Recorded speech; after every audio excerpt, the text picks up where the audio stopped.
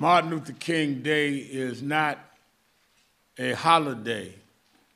For many of us in the struggle for social justice, it's a holy day.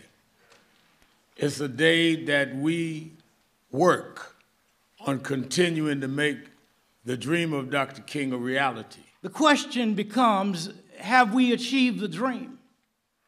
And the reality is absolutely not.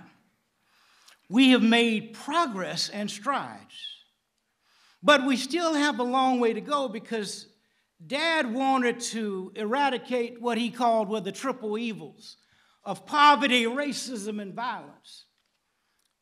And when we look at each one of those areas, what I know is we have the ability to address them. We just have not identified the will.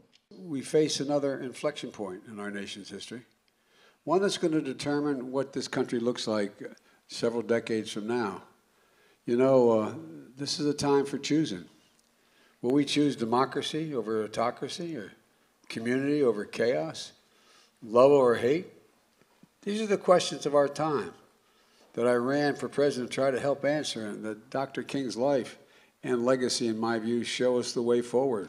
We just have to look back. We got to be prepared.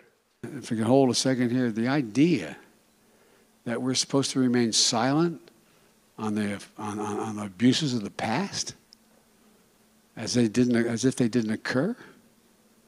That's not being woke. That's being honest. That's talking about history. Well, folks, but we have a lot of unfinished work to do, though. A lot of unfinished work. We have to keep building on it and defend our progress.